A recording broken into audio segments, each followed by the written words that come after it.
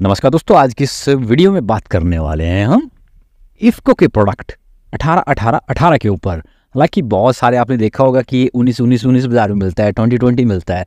और 18 18 काफ़ी पहले से चल रहा था, कुछ समय नहीं मिलता बाज़ार में कहीं कहीं पे अवेलेबल रहता है। कहीं कहीं पे जो 18 18 ही मिलता है 19 19 नहीं मिलता।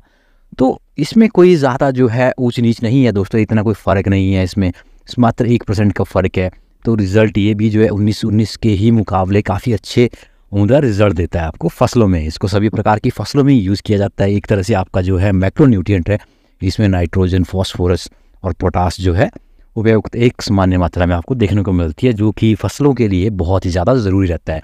और दूसरी इंपॉर्टेंट बात दोस्तों ये रहती है कि ऊपर से जो है पूरी तरह से जो है घुलनशील है वाटर स्टॉलेबल है। इसको आप स्प्रे के माध्यम से भी ले सकते हो, इसको आप ड्रिप के माध्यम से भी ले सकते हो, इसकी आप ड्रिंचिंग भी कर सकते हो।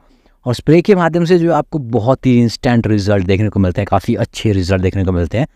इसको आप सभी प्रकार की फ़सलों में इस्तेमाल कर सकते हैं। गेहूँ हो गया, टमाटर हो गया, लौकी, खीरा, तोरी, करेला, बैंगन, शिमला मिर्च, भिंडी, हर तरह की फ़सल में जो है इसको इस्तेमाल किया जा सकता है। एक तरह से माइक्रो न्यूट्रेंट है, पौधे को काफ़ी ज़्यादा मात्रा में इसकी ज़रूरत रहती है। आप इसको, आप जो है एन पी के बारावती सोलह या डी ए पी अठारह छियालीस जो है आप ज़मीन में भी डालते हो, वर्मी कंपोज डालते हो तो उनके रिज़ल्ट जो है काफ़ी लंबे समय तक तक रहते हैं। पर उनको जो है मिट्टी में ज़मीन के अंदर डालना पड़ता है तो उनके असर जो है पाँच से छः महीने, साल तक जो है ज़मीन में रहता है। पर फ़सलों को धीरे धीरे मिलता रहता है वो। और फ़सलों की जब जो है आपको ज़्यादा ज़रूरत रहती है बढ़ की, आप इसको शुरुआती अवस्था में भी जो है छिड़काव कर सकते हैं। जब आपकी फ़सल जो है ग्रो कर रही होती है, जब उसमें कोई फ्लावरिंग स्टेज नहीं आ रही होती है, कोई फ्रूटिंग नहीं होती है, उस स्टेज में भी जो है आप अठारह अठारह का इस्तेमाल कर सकते हैं।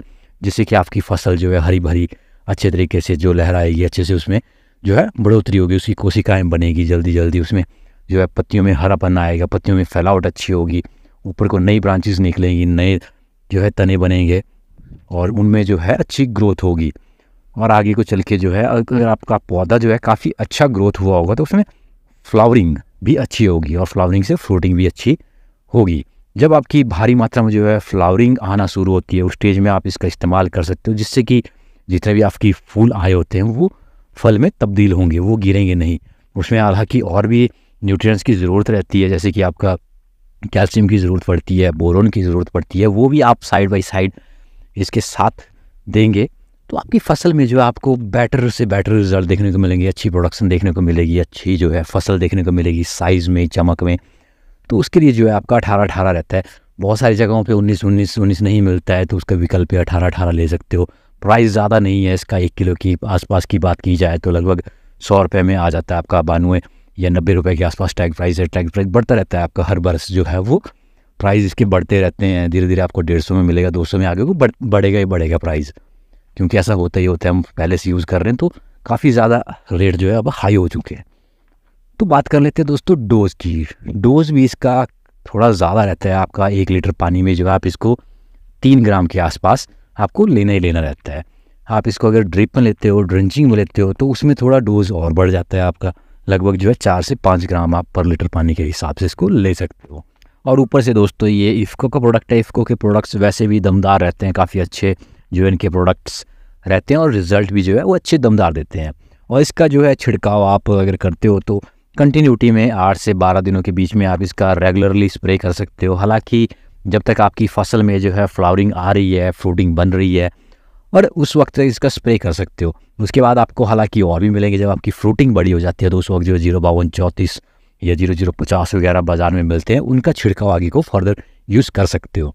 जब आपकी फ्रूटिंग आना शुरू हो जाती है, लगभग अच्छी फ्रूटिंग होती है तो उसके लिए साइज़ के लिए। हालाँकि इसको भी इस्तेमाल किया जा सकता है, पर उस वक्त जो है पौधे को ज़्यादा ज़रूरत पोटास की रहती है, ज़्यादा ज़रूरत जो फॉस्फोरस रहते हैं, उस वक्त नाइट्रोजन की इतनी ज़रूरत नहीं रहती है तो आप इसके बजाय या इसके साथ साथ मिक्स करके जो है ज़ीरो बावन चौंतीस या ज़ीरो ज़ीरो पचास या और भी बाज़ार में बहुत सारे घुलनशील और भी एन पी केज मिलते हैं, उनका इस्तेमाल कर सकते हो इसके साथ साथ और साथ ही साथ दोस्तों, इसका इस्तेमाल जो आप नर्सरी में भी कर सकते हो, नर्सरी में भी इतना कोई साइड इफ़ेक्ट देखने को नहीं मिलता है, अगर आपकी नर्सरी में थोड़ा बहुत पीलापन है, अगर वो अच्छे से ग्रो नहीं कर रही है तो उसमें भी जो है आप थोड़ा सा उसमें डोज थोड़ा कम रहता है दोस्तों।